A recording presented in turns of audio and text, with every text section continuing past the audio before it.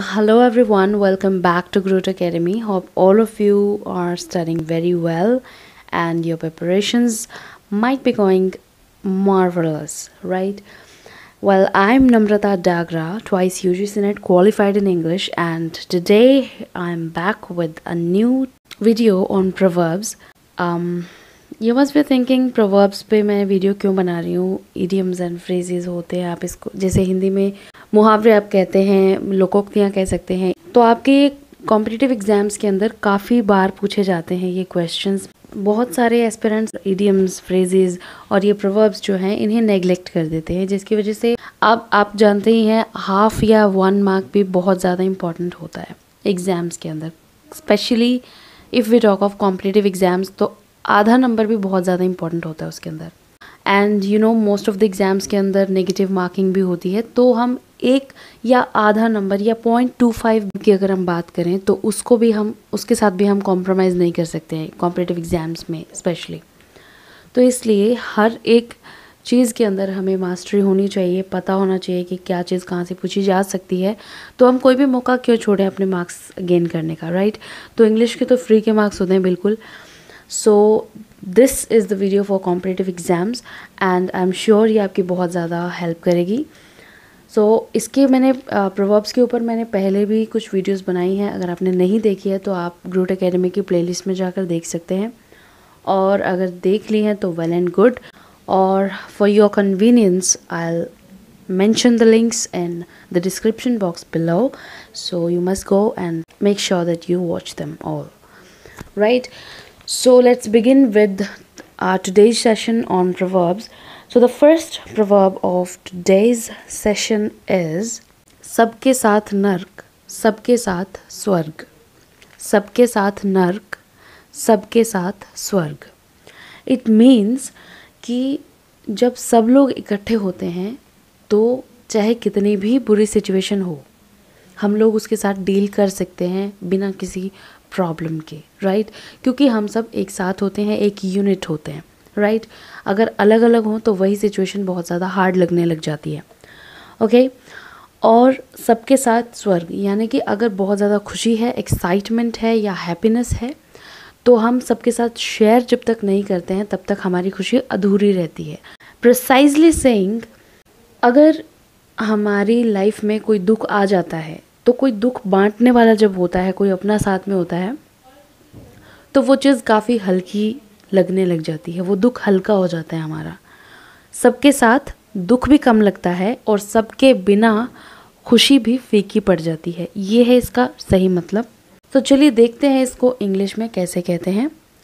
Death with friends is a festival death with friends is a festival right friends यहाँ पर friends का मतलब है फैमिली या अपना, कोई अपना राइट right?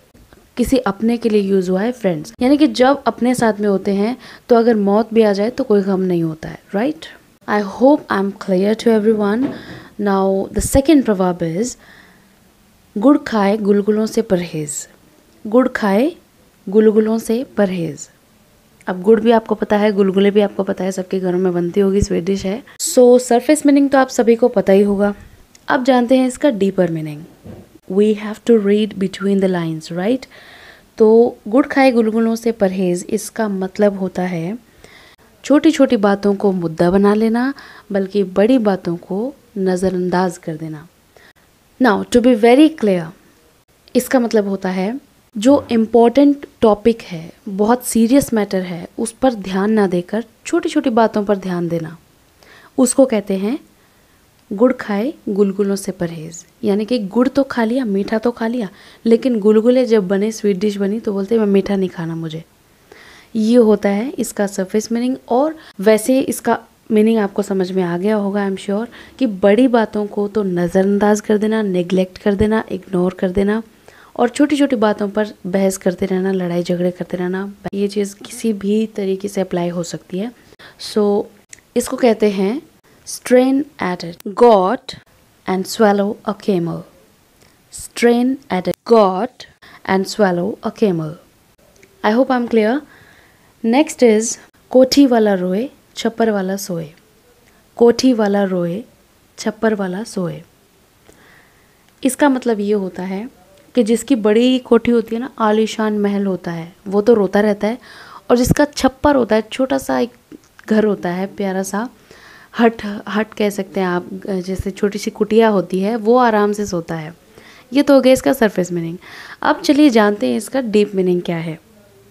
गहराई वाला जो अर्थ है इसका, वो क्या है? वो ये है कि जो इंसान बहुत ज़्यादा अमीर होता है, बहुत ज़्यादा पैसे वाला होता है, वो हमेशा रोता ही रहता है, क्योंकि उसकी टेंशन ही ख़त्म नहीं होती। और जो बहुत नीचे वाले तबके का इंसान है, जो बहुत ज़्यादा गरीब है एटलीस्ट वो चैन की रोटी तो खाता है। चैन की रोटी खा के अपनी मेहनत मजदूरी करके और आराम से रात को सो जाता है।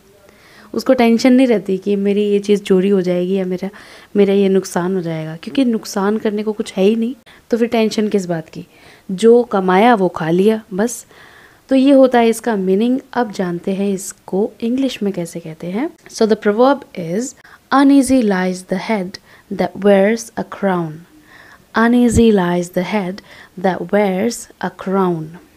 जिसके सिर पर मुकुट होता है या क्राउन होता है। क्राउन किसको कहते हैं? मुकुट को कहते हैं। जो राजा के सिर के ऊपर ताज होता है, वो ताज। द राइट वर्ड इज़ ताज। तो जिसके सिर पर ताज होता है, वो कम ही कंफर्टेबल रहता है। अगर और क्लियरली समझाऊँ तो जिसके पास जितना बड़ा औहदा होता है, जितना बड़ा पद होता है जितना बड़ा लेवल होता है स्टेटस होता है, कितने भी वर्ड्स आप लगा लो यहाँ पर तो उतना ही उसके ऊपर रिस्पॉन्सिबिलिटीज़ होती है। उतनी ही उसको टेंशन्स ज़्यादा होती है। Right I hope this is also clear चलिए आगे बढ़ते हैं। Let's move on next is पवित्रता धर्म से दूसरे स्थान पर है। पवित्रता धर्म से दूसरे स्थान पर है। पवित्रता यानी कि साफ़ सफ़ाई।